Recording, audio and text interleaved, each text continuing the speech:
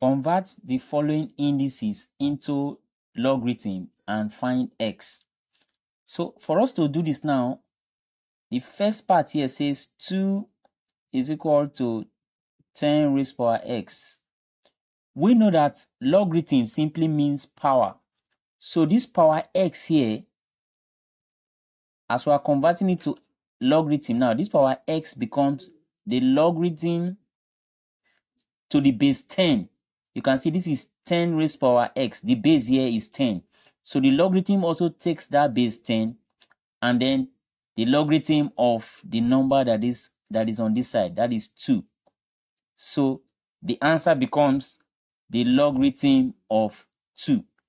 So if we check from our calculator, the logarithm of the number 2 is 0 0.3010 and this is the final answer. Now let's check the second question. It says 1.7 is equal to 10 raised power x. In a similar way, like I said, logarithm has to do with power. So this power x is taken and then we say the logarithm to this base. This is 10 raised power x. So the base here is 10. So the logarithm also take that same base and then we say the logarithm of 1.7. So 1.7. So the logarithm of 1.7 is if we simply press our calculator, we're going to get log 1.7 as 0 0.2304.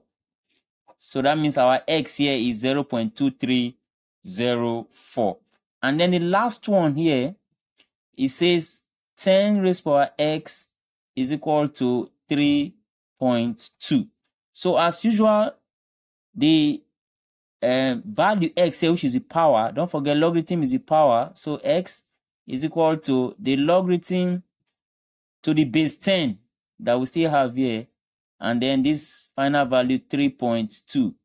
And if we check from our calculator, the logarithm of 3.2 is 0. 5051.